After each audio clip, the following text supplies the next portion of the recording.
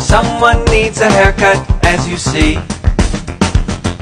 Someone's looking all forlorn just because his locks ain't shorn. Time to lose some hair.